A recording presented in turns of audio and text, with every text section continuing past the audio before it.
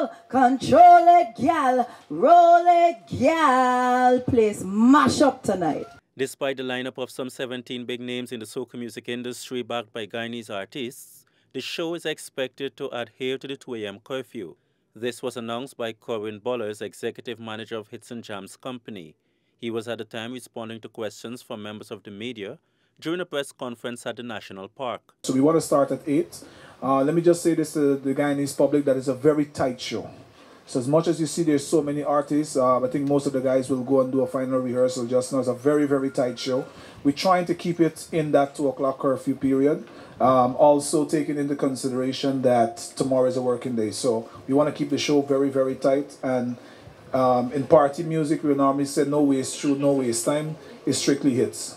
Bollers, however, has no issues with the concert being held in the middle of the work week. Like this girl, she wanna ride and move up the waistline like it's a train. The Bacchanal Wednesday concert is a concept which was adopted from Trinidad and Tobago and is said to be the brainchild of female soca sensation Destra Garcia.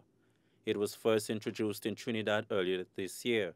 When I said jiggle it, we're gonna make sure it loose out. And for all the Trinis here, listen, the new talk is boom out. Voice, the new talk is boom out. So when you leave, when you leave and you go back to Trinidad or Antigua, St. Lucia, let them know the guy in the talk right now is what? Boom out. The concert is one of two mega events which Hits and Jams Company has put on as part of its Jam Zone celebration.